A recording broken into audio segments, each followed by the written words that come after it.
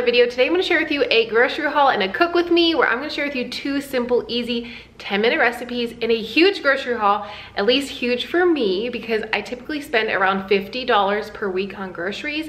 I spent a total of $125. I shopped at three stores and I'm anticipating what I bought to last us three weeks. Now I do have other items still on hand to use up in my fridge, freezer, and pantry, but I meal plan pretty specifically like day to day down to the meal so I know exactly what I need to purchase, what I have on hand, so this haul should last me three weeks. But let's jump into it. I think this is one of the biggest hauls I've done in like a year. I feel like I was at the store for so long today, like running around, like I said, three stores, $125. Let me show you what I got. And of course, give this video a big thumbs up if you are here for budget-friendly meal ideas and grocery hauls. Okay, I hit the grocery store at exactly the right time because I got some reduced priced produce and I love that. Okay, celery, tomatoes, one lonely little jalapeno. These were reduced. I got all of these for 99 cents. There's like literally nothing wrong with them. They're not squishy. They have no marks on them. I don't know. Someone just put them in the reduced section. Also, all four of these were 99 cents. That is a stellar deal, like, oh my gosh. And then the uh, bananas, of course, they always have tons of reduced bananas because as soon as they start to brown, the grocery store lets them go. They were 45 cents a pack, so this is like the biggest one. I think there's like seven bananas there, maybe six, 45, 45. So I grabbed a whole bunch of bananas. This is my favorite way to eat bananas, like slightly brown. I feel like they're so sweet that way. But if I don't get through these this week in baking, I will freeze them and then I can use them for smoothies or for baking later on. Peppers were also on sale, 67 cents each. I thought that was such a good deal and I got some orange ones.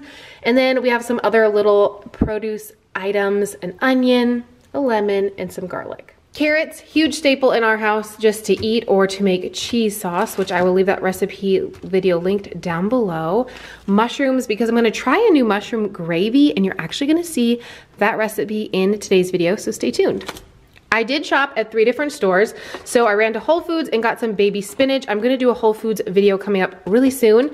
And that was included in my grocery budget for the next couple weeks. So stay tuned, but I got some baby spinach. And honestly, this spinach cost me like nine cents more than it did at Smith's. Like this stuff is from the Kroger company, Smith's, and this is from Whole Foods. So really, I feel like Whole Foods is kind of competitive. I know a lot of people argue with me that it's not, but like price-wise, it's not too bad. Green onions, these are from Target. I also went ahead and grabbed some red lentil rotini from Target. They didn't have very many gluten-free options and typically I get my gluten-free pasta at Thrive Market because it's so inexpensive, but get it where you can. I feel like right now, no one has it in stock. Tell me if your grocery stores have it in stock because this is all Target had. This is all Smith's had, the gluten-free um, spaghetti. And then Whole Foods did have a lot more, but they tend to be a little bit more expensive unless in their brand. But I want you to comment below and tell me which of these you think was the cheapest. The Kroger Company, the 365 from Whole Foods, or the Good and Gather. And I'll, I'll, uh, I'll put a comment down below and let you know which one was the cheapest. But I want you to stop the video and just take a guess and then go look at my comment. Uh, we also got some corn tortillas because we're gonna do a couple freezer meals um, to kind of gift and to eat and I'm excited for that. I only got one tofu because no one had any tofu. Like this was from Target and they only had one. Smith's didn't have any, so that's a bummer. But I got some extra things to kind of make up for it. That's one thing you have to kind of go with the flow at the grocery store, you know, because some things are just out of stock. Um, going into my dry uh, produce, I guess, uh, we've got a lot of potatoes, onions, sweets, sweets, and as you can tell, there's three different kinds of sweets here. This is like an orange, this is a red, and this is a white, but they were all 99 cents a pound. Grabbed a whole bunch of those. Um, we love potatoes, as you can tell, but these are my husband's favorite. He likes the little potatoes. So we're gonna do a really good smashed potato um, sometime this week, if not next week. Russets and Reds. And Russets were actually really inexpensive at Whole Foods and they looked better than the ones at Kroger.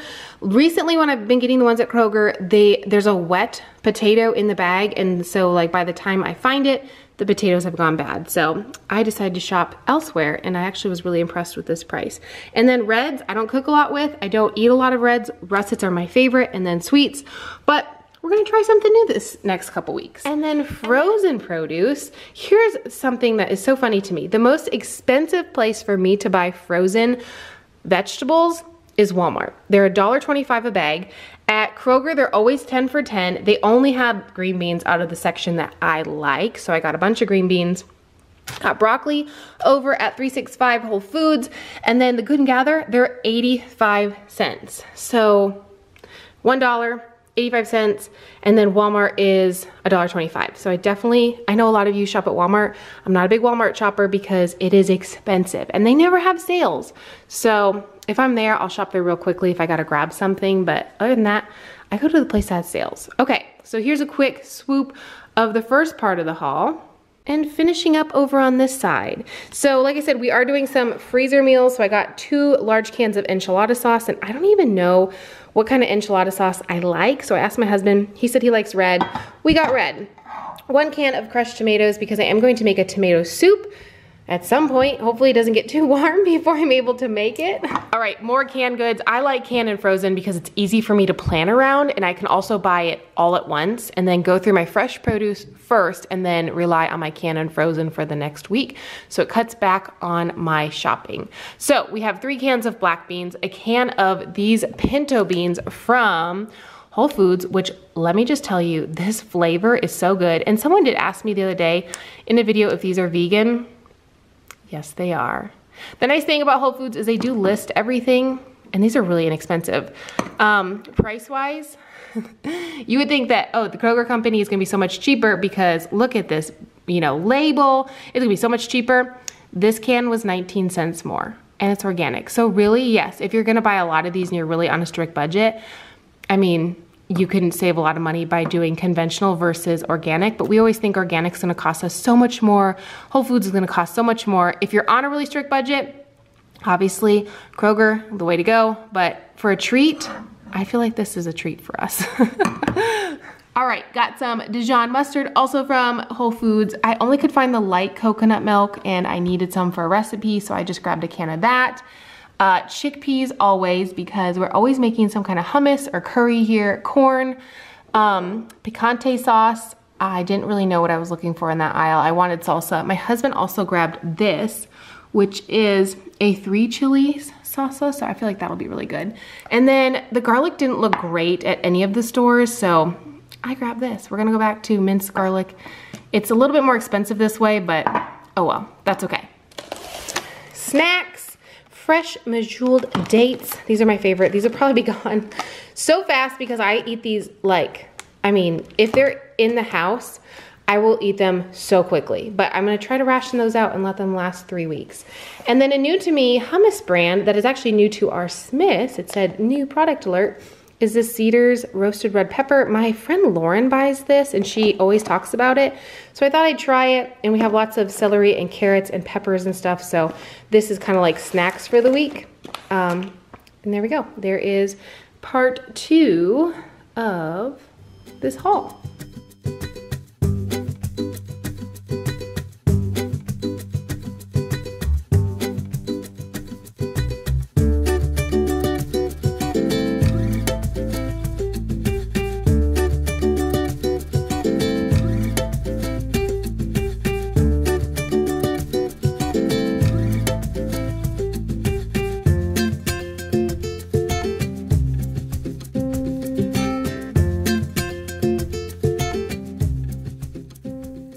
Shared something like this many times on my channel because it's one of my husband and I's favorite really go to throw together 10 minutes or less meals.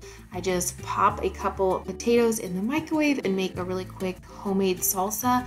I love keeping canned beans and canned corn on hand for quick, easy meals. Yes, it's always cheaper to buy them in bulk, to buy beans dry. And then of course you can take the time to put them in your pressure cooker or your Instant Pot, make them on the stove top, keep them in the freezer. But we do both. I have beans in the freezer, I have dry beans in my pantry, and then I also have canned beans that I keep on stock for quick lunches like this one that I was making today. Also, if you're gonna chop a jalapeno and you don't want as much heat, leave out some of the seeds and always wash your hands immediately after you're done chopping it or wear gloves or something so you don't burn your eyes. I used a couple seasonings, just some garlic salt and Tajín. You could definitely add a lime to this. I didn't grab any limes at the store. I had them on my list and I completely forgot them, but I always forget one or two things when I go to the store. It's inevitable that that always happens, even though I have a list, but it's okay. No harm, no foul. But this is such a beautiful, delicious salsa. And then all I do is pop a couple potatoes in the microwave. This microwave that we have is new to us. Obviously, it's new in our home, but I've never used this style before. It also has a conventional oven hookup. I have never used that before. It's like a a metal plate that goes inside of it. There's like instructions for it. I've never used it, but I'm not afraid to put a potato in the microwave when I'm hungry, borderline hangry, and want a potato. So these white sweet potatoes, I've talked about them multiple times on my channel. Whenever they're in stock at Kroger, I always have to pick them up. They are so good. They're like a combination between a russet and a sweet potato. So they're kind of white and a little bit buttery and nice and starchy. They're so delicious. They're so good. I'm probably gonna hide them in my pantry. Don't tell my husband. Hide them off to the side so he doesn't eat them. and then they'll just be for me. He'll never know that they're there. Anyways, go ahead and top your potato with some salsa and then some picante sauce. And there you go. You could also roast some veggies on the side if you want to. This is what I had for lunch on this very busy day after I spent about two hours running around and shopping for groceries.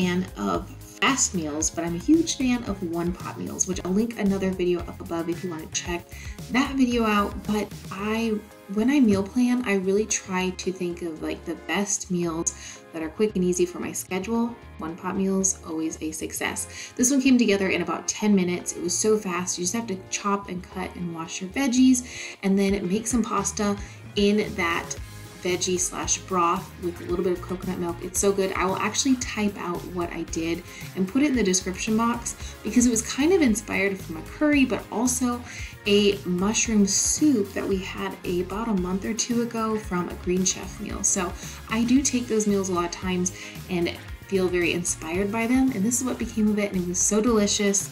I actually have my husband reviewing this meal, so stay tuned to the end of the video. But I crunched up my pasta. You'll see that in a little bit because all I had was spaghetti and I wanted to cook faster, but also to like kind of incorporate a little bit easier in this one pot. I also decided to cook my garlic and my mushrooms first, let the water release from the mushrooms and then add my onion and celery and let those become, well, the onions become translucent. The reason I do that is because I don't cook with any oil. If you cook with oil or if you want to water saute your onions and celery first, you absolutely can, but this is a really good way to get a lot of aromatics, a lot of flavor in your pot. I don't always like cook my onions that way because sometimes I'm just really not that picky. I really like onions, so they can be raw or they can be cooked. It doesn't matter. I also didn't share with you, but in the beginning, but I did add a little bit of coconut aminos to give it a little more depth and kind of like that smoky, salty kind of sweetness, which I feel like goes so good with mushrooms. This was such a delicious meal. I highly recommend trying this one. Tag me over on Instagram when you try it and let me know what you think.